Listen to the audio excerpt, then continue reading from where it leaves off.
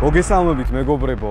შემოგთავაზეთ ორი ჩვეულებრივი ავტომობილი, მაგრამ ერთი კვირიანი პაუზის შემდეგ დღეს მე მსურს თქვენი გულები გავახარო, აქედან გამომდინარე შემოგთავაზებთ უბრალოდ Mercedes S63 AMG S. მაშასე დავიწყოთ. ეს არის ყველაზე უემოციო მისალმება ალბათ ყველა გადაცემის ისტორიაში იქიდან გამომდინარე რომ 2 საათია უკვე რაც მოძრაობ და მინდა გითხრათ რომ ну აღარ ვარგი ვარ საერთოდ ყველანაირი ემოცია, ყველანაირი ენერგია წარწმეული მაქვს და ეს რა თქმა უნდა ამ მონსტრის დამსახურებაა. ეხლა კი უკვე გავყვეთ დეტალურად მიმოვიხილოთ ავტომობილი.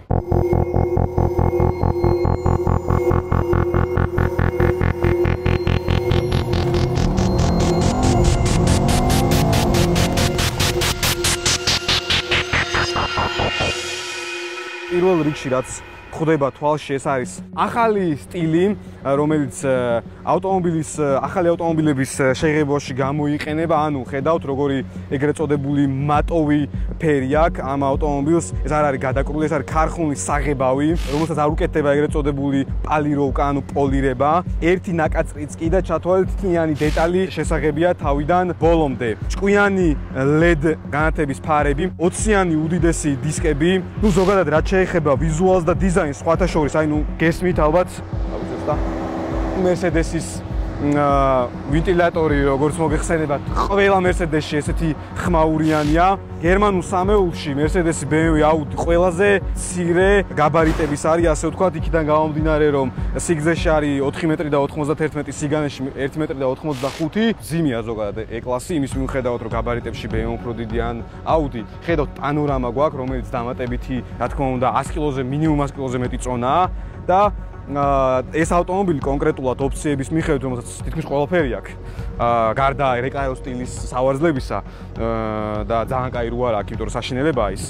ყველაფერი აქვს, ავტომობილი იწონის დაახლოებით 1950 კილოს, ანუ თითქმის 2 ტონამდე დავიძღოლი და საწვავით და ასე შემდეგ 2 ტონად სდება და 2 ტონამდე 2 ტონად და 100-ზეც კი ადის. ну, რადგან E-კლასია, მაინც საბარგულიც ნახოთ რო არის უდიდესი, მაგრამ აა რა დროს აბარგულია, მოდი უცებ დავკეტოთ ხილაკით, რა თქმა უნდა, გვაქვს და დაიკეტება. ну 4 მაყუჩის თავი. რა შეიძლება ამის გამონაბოლქვ სისტემაზე და ხმაზე ითქვა ზოგადად? ამ ეშკას არა აქვს ხმა მაგრამ მოძრაობაში აქვს ძალიან მაგარი ხმა. აქედან გამომდინარე პრინციპში აზრი არა აქვს. ეხა ამის გაზაობას და მოსმენას იმიტომ რომ არა აქვს უბრალოდ ხმა. ეხა ავხალოთ უკვე კაპოტს და ჩავიხედოთ რა ხდება და როგორ.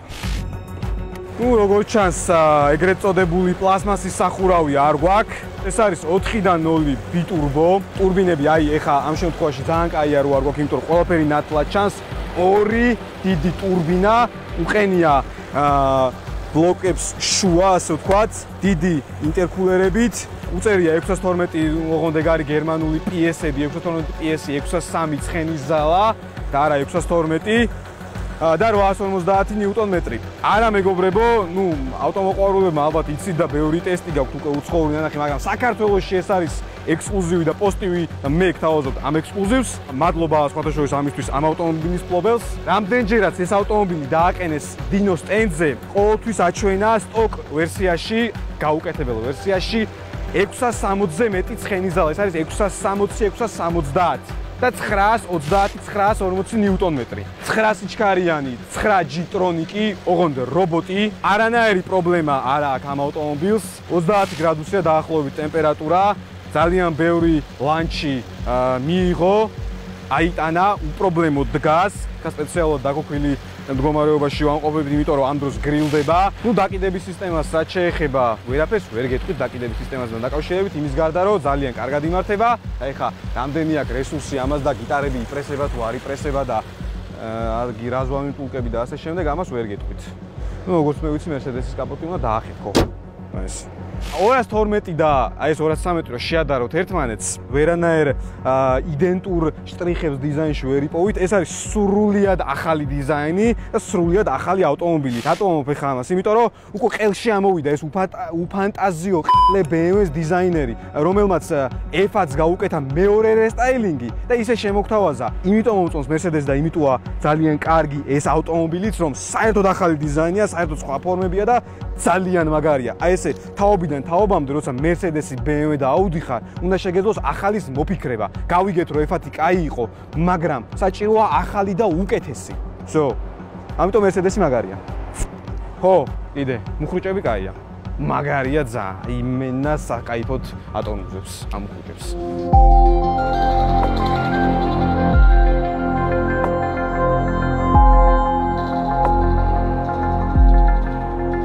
რაც შეეხება სალონს, მოდი გასაღები მიჭირავს ხელში და ამით დავიწყო. ხედავთ, ну, პრინციპში ცვლილება მოხდა გასაღებშიც, ახალი გასაღებია ესეც, თუმცა უცებ ისე განვითარდა ა ტექნოლოგიები, რომ შეიძლებოდა აქ პატარა ეკრანი ქონოდა თავის უამრავი გაჯეტები. ეს გასაღების შესახებ. ხედავთ, სრულიად ახალი ტორპედო, როგორც გითხარით.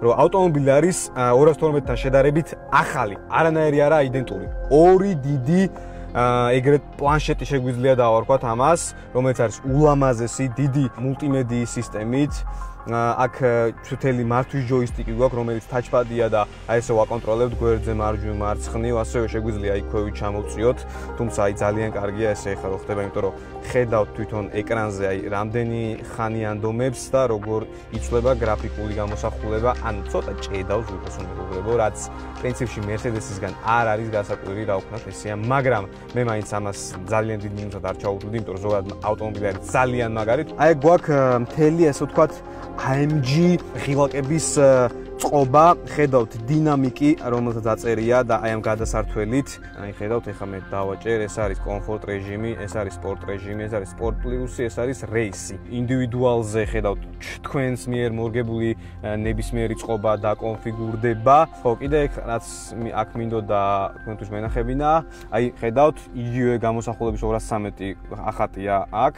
შევდივართ ანუ ავტომობილში და გვაქვს ბევრი ასე ვთქვათ ოფცია მასაჟების და ასე შემდეგ გვერდითა დამხმარების dynamic select-ში შევიდეთ მოდით აქ ინდივიდუალური კონფიგურაცია.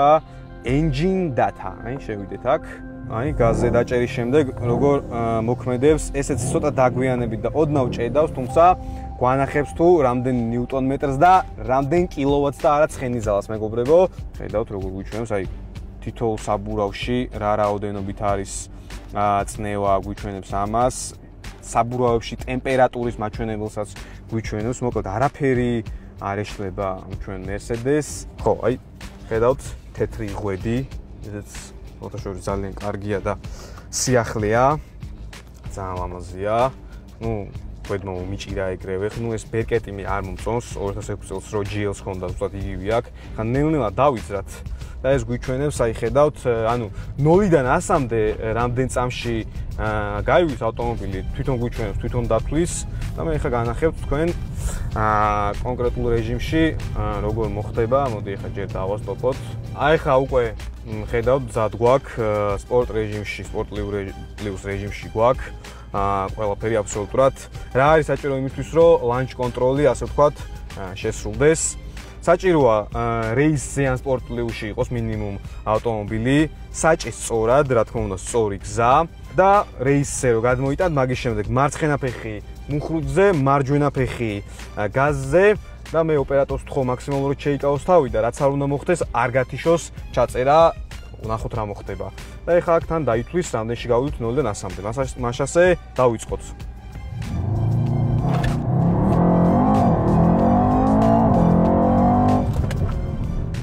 სამ ნახევარი წამი ძვირფასო მეგობრებო. ну პრინციპში არ არის სუდი. მე განახებთ ეხა ამ ფლობელს თვითონ რამდენში დაუდია. ჩვენ გადავიღეთ 740 ცხენი ზალიანი F10 გაკეთებული, თუმცა 0-დან ასამდე რა თქმა უნდა, ის ამაზე ბევრად ნელია, იმიტომ რომ უკანა ამძრავია და ბუქსაობს. ყველაზე სწრაფი თვითონ ავტომობილი ისტორიას გვიწერს 41 მეტრში 2.98 მეასეთში განავითარა 0-დან 100-მდე. ჩემ ისტორიაში ალბათ ყველაზე სწრაფი 0-დან 100-მდე შედეგი 3.5 მეათე წამში. ეხლა უკვე დავიწყოთ მოძრაობაში შეარული, მაგრამ სამწუხაროდ GoPro მოვიწერე.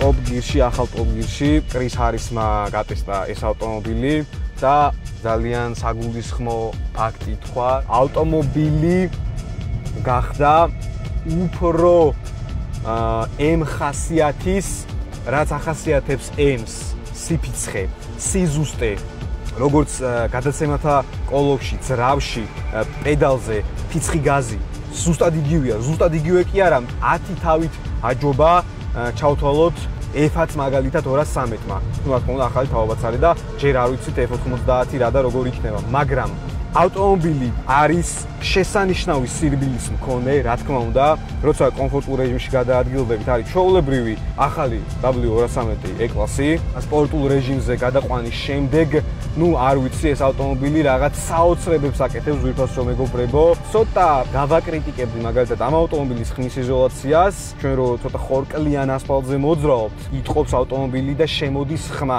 ანუ არ გულისხმობ მე ვიბრაციას და ხმის თვალსაზრისით ვიძახი. რა თქმა უნდა, სარკეებში ყველანაირი ასისტ სისტემა გვეხმარება და გვაფრთხილებს მკვდარი ზონები და ასე შემდეგ 360 კამერაც გვაქვს. ხო, რაც კიდე ამ ავტომობილს, რა თქმა უნდა, ეს არის ფორმატიკ პლუსი. ჩვენ შეგვიძლია გავთიშოთ წინა თვლები და დავტოვოთ ავტომობილი მხოლოდ უკანა ამძრავზე.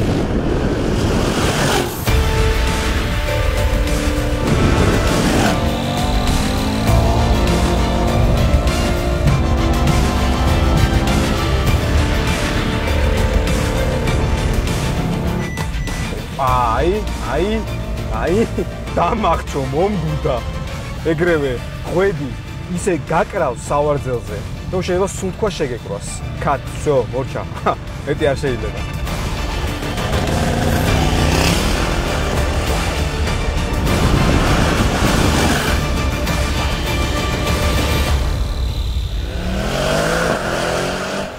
მე ამ ავტომობილს ვერ უყავდები მინდა გითხრათ, ბევრად უფრო ძლიერია და ბევრად აღემატება ჩემ შესაძლებლობებს. აი ხა მაგალითად მე გამოტანილი მაქვს ბუსტის მაჩვენებელი, რომელიც მინიმალურს მიჩვენებს, თითქმის საერთოდ არ იყენებს არაფერს. ხა ძრავი ეკონომიურ რეჟიმშია, ცოტა სწორ სხვათა შორის როცა ესეთ ეკონომიურ რეჟიმში გადაადგილები, დაახლოებით უნდა იანგარიშოთ 13-დან 16 ლიტრამდე ესეთი ეკონომიური რეჟიმით. 11 და 7 უწერია, მაგრამ არ ამგონია 11 და 7 იაროს.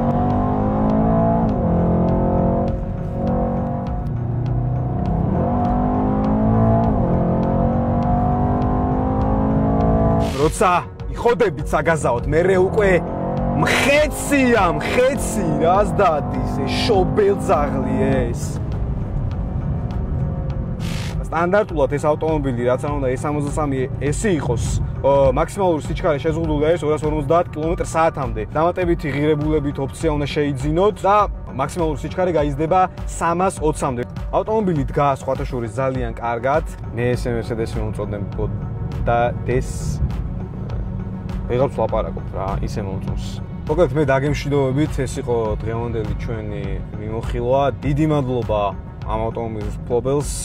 ნახვამდის მომავალ შეხვედრამდე.